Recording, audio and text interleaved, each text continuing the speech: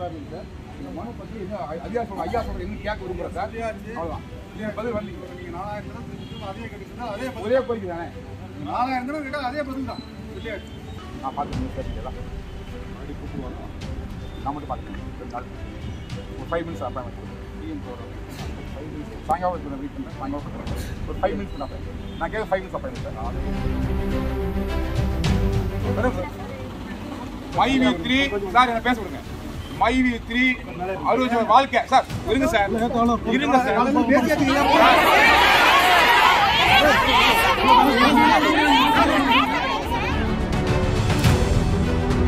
யாரும் வர சொல்லுங்க? நான் ரெடி எங்க தான் பேச பண்ண. ஒன் டூ ஒன் வச்சுக்கலாம். எங்க பிரஸ் பண்ணுவீங்க என் கேள்வி சொல்லுங்க. நான் பதில் சொல்றேன். நான் கேட்க பதில் சொல்ல சொல்லுங்க. என்னோட பிளான் அடிப்படையே தெரியாம அறிவுறுத்தமா இந்த வார்த்தையை வந்து எனக்கு வருத்தோட பதிவு பண்றேன். இப்படி எல்லாம் பதிவு பண்ணிருக்காங்களே இதோட நோக்கம் என்ன?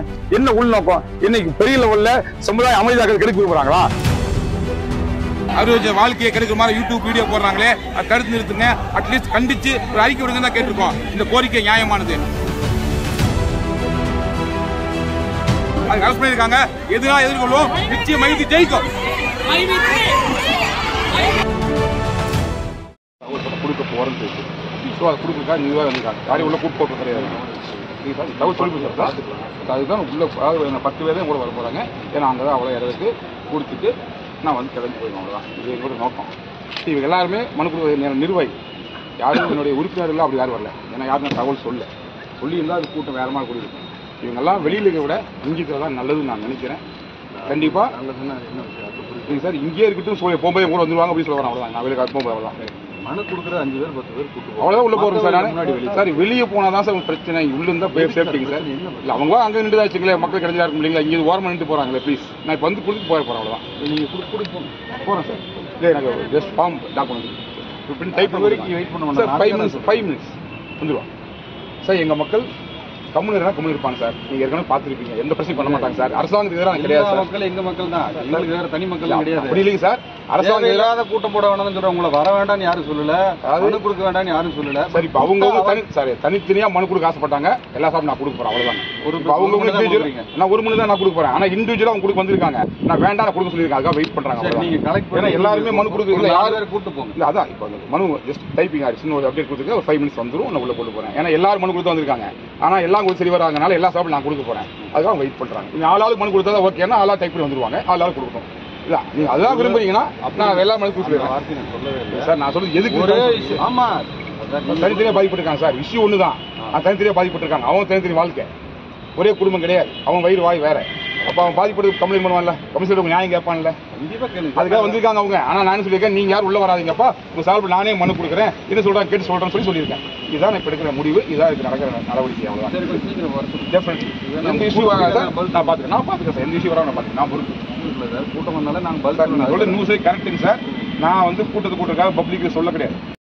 என்ன சொல்றாங்க கேட்டு சொல்றேன் சொல்லிட்டு தான் வெயிட் என்ன சொல்றாங்க வெயிட் பதிலுக்காக வெயிட் பண்ணிட்டு இருக்காங்க சரி கொஞ்சம் என்னுடைய பதில் அவங்க திருப்தி இல்லைன்னா அவங்க மனு கொடுப்பாங்க. அவங்க சைடில் எந்த கூட கொடுக்குறாங்க அவ்வளோதான் விஷயம் அவ்வளோதான்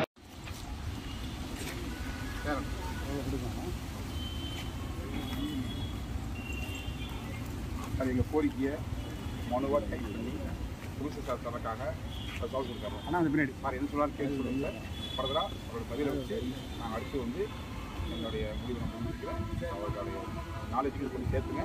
அவர் என்ன சொல்றாரு கேட்டு சொல்லுங்க சார். அதுக்கு நான் வெயிட் பண்ணுறேன் அதுக்கு வெயிட் பண்ணுறேன் சத்தமெல்லாம் வெயிட் பண்ணுவாங்க. என்ன சொல்றாங்க சொல்லுங்க. அதுக்கு நான் அடுத்து வச்சுட்டு நான் ப்ளீஸ் தேங்க்யூ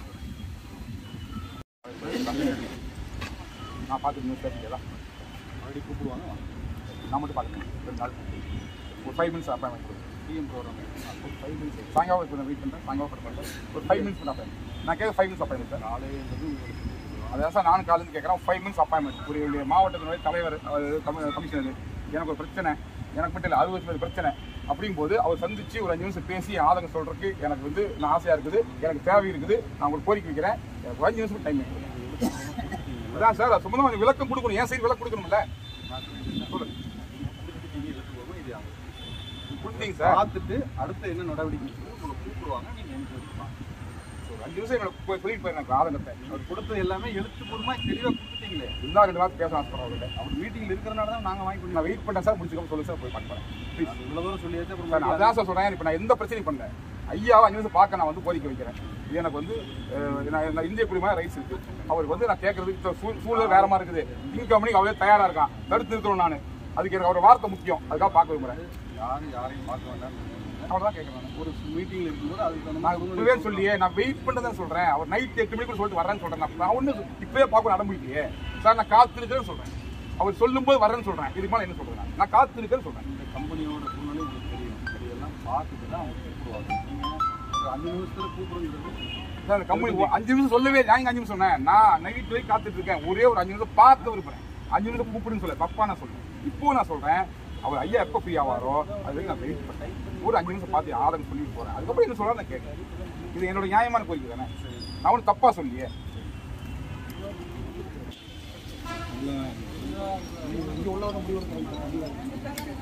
நான் உட்கார் தான் சொன்னேன்.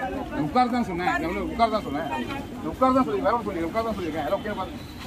உட்கார். ஏன் அப்பதான் கணக்கு நீ பேச தெரியும் அப்படின்னா அவ்வளோ தெரியும். உட்கார் சார், உட்கார் தான் சொன்னேன். ஒரு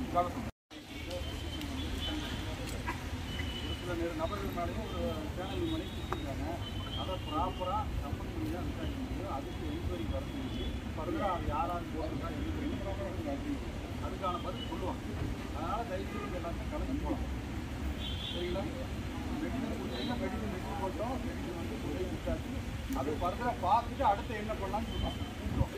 கூப்பிடும்போது விசாரிக்கணும் அதில் உங்களுக்கு நிர்வாகிகள் இருந்தீங்கன்னா நிர்வாகிகள் கூப்பிடுவாங்க. ஓனராக இருந்தாலும் அவரே கூப்பிடுவாங்க. அது வரைக்கும் நீங்கள் வெயிட் பண்ண வேண்டாம். அதுக்காக கொஞ்சம் கபடி எல்லாம் கலந்து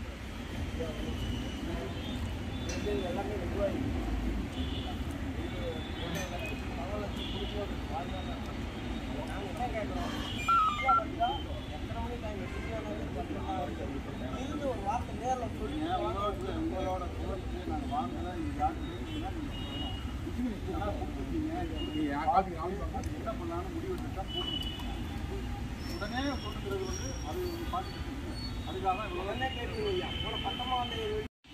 அர்ஜுனன் நான் சொல்ற மாதிரி கேள்வி பேச அமைதியாக இருக்கும் பேசக்கூடாது. நிர்வாகிகள் இருந்தீங்கன்னா உங்களுக்கு வந்து என்கொயரி கூப்பிடுவாங்க அது வரைக்கும் இன்னைக்கு நீங்க நாலுலேருந்து வெயிட் பண்ணீங்க. உங்களுக்கு மனு வாங்கியாச்சு.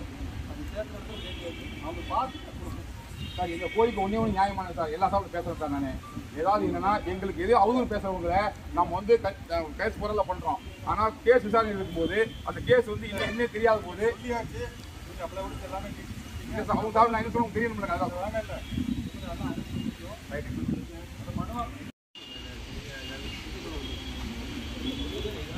ஐயா ஏய் ஏய் யார் பேசுறது சொல்லுங்க கேள்வி அவ்வளவுதான்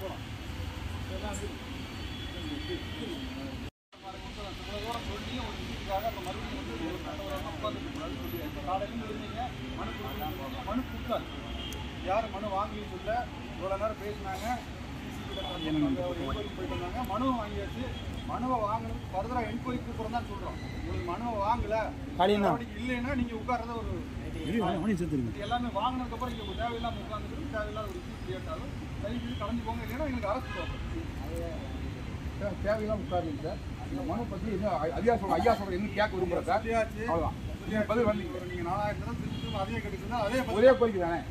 நாலாயிரம் தடவை கேட்டால் அதே பதில் தான். சொல்லியாச்சு. சின்ன ப்ராசஸ் இருக்குது அமைதி உட்கார். வண்டி எடுத்தாப்பா இல்ல, அமைதி உட்கார்.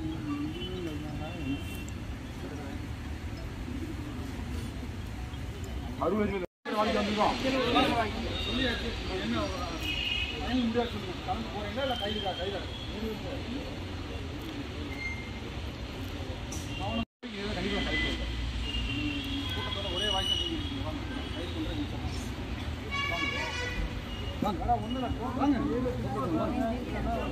கண்டிப்பா வாங்க வாங்க வண்டி ஏறுங்க நாங்க வண்டி சொல்ல வாங்க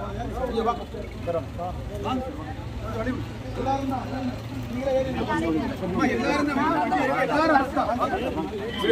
பரவாயில்ல பரவாயில்ல மைவி த்ரீ சார் என்ன பேச விடுங்க மைவி த்ரீ அறுபது வாழ்க்கை. சார் இருங்க சார். இருங்க சார்.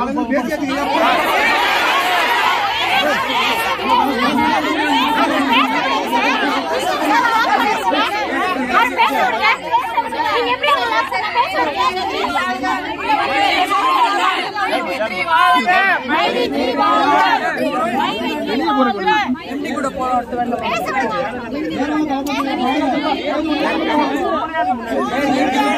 பிரச்சனை இல்லை, வாங்க நாங்கள் பார்த்துக்கிறோம்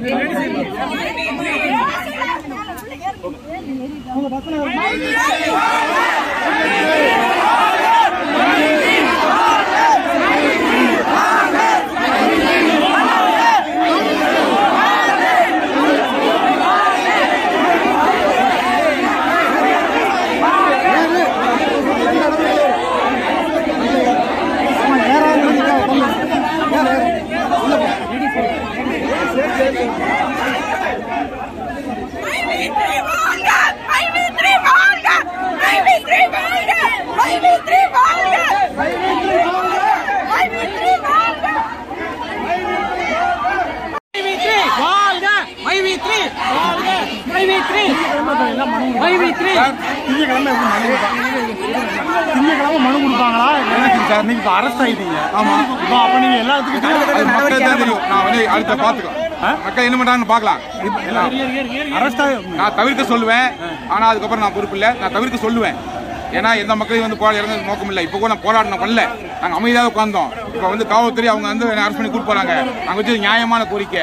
எந்த அநியாயமான கோரிக்கை வைக்கல அவர் வாழ்க்கையை கெடுக்கிற மாதிரி யூடியூப் வீடியோ போடுறாங்களே அதை தடுத்து நிறுத்துங்க. அட்லீஸ்ட் கண்டிச்சு ஒரு அறிக்கை விடுங்க தான் கேட்டிருக்கோம். இந்த கோரிக்கை நியாயமானது. நான் நல்லவன் சொல்லுன்னு சொல்ல நான் முழுக்க முழுக்க நல்லவங்கிறத நான் கோர்ட் நிரூபிப்பேன். அது பிரச்சனை கிடையாது.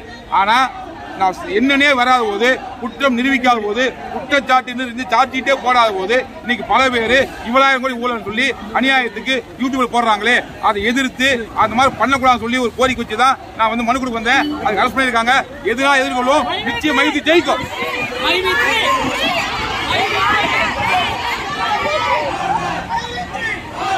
ஆக்சுவலாக விசாரணைக்காக இன்னைக்கு வரலைங்க சார் நம்ம.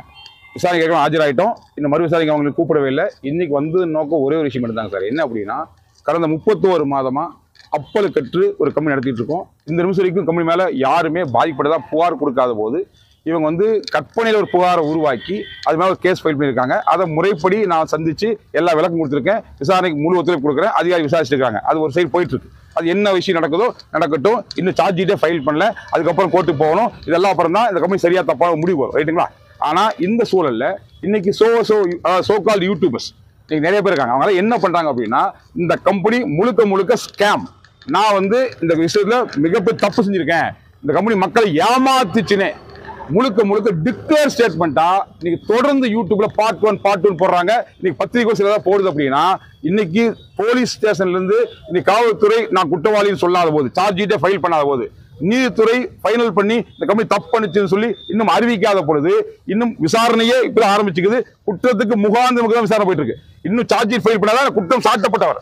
அதுக்கப்புறம் கோர்ட் சொன்னாதான் குற்றவாளி. அப்படி எந்த விஷயம் நடக்காத போது இன்னைக்கு சோக்கால்டு யூடியூபர்ஸ் எல்லாருமே நான் தப்பு தான் பண்றேன்னு சொல்லிட்டு ஒரு ஆள் சொல்றாரு பதினாயிரம் கோடி ஒரு சொல்ல இருபதாயிரம் கோடி இந்த கோடிக்கு மரியாதை இல்லையா? இவங்களுக்கு எத்தனை கோடி சைபர் தெரியுமா? சும்மா அடிச்சு விடுறதா? ஒருத்தர் கேட்கறாரு ஒரு நாளைக்கு அஞ்சு ரூபாய் இத்தனை லட்சம் பேர் எப்படி கொடுப்பாங்க? நான் டெய்லியாவது கொடுக்குறேன்? ஒரு எங்கிட்ட இருக்கிற ஓஎம் மெம்பர் ஒரு நாளைக்கு அஞ்சு ரூபானாலும் மேக்ஸிமம் ஐம்பது ரூபா வாங்க முடியும். அதுக்கு மேலே காசு வாங்க முடியாது. இப்படி என்னோட பிளான் அடிப்படையே தெரியாம அறிவுறுத்தனமா இந்த வார்த்தையை வந்து எனக்கு வருத்தோட பதிவு பண்றேன். இப்படி எல்லாம் பதிவு பண்ணிருக்காங்களே இதோட நோக்கம் என்ன? என்ன உள்நோக்கம் இன்னைக்கு பெரிய லெவல்ல சமுதாய அமைதியாக கெடுக்க விரும்புறாங்களா? கேட்கலாம். சமுதாய அமைதிக்கு வேணும் சமுதாயம் கேட்கலாம். இன்னைக்கு எங்கிட்ட ஐம்பது லட்சம் பேர் மெம்பர் இருக்காங்க. அன்னைக்கு என் கம்பெனி வழக்கு பதிவு பண்ணும்போது யாருமே கேள்வி கேட்கல. ஏன்னா அரசாங்கம் வழக்கு பண்ணி நம்ம ஃபேஸ் பண்ண போறோம். நானே என் சேனல் சொல்றேன். இது ஒன்றும் இல்லை. ரெண்டு செக்ஷனில் போட்டிருக்காங்க. ஒன்று வந்து சிட்ஸ் அண்ட் பட்ஸ் ஆக்ட் நமக்கு சம்மந்தம் இல்லை.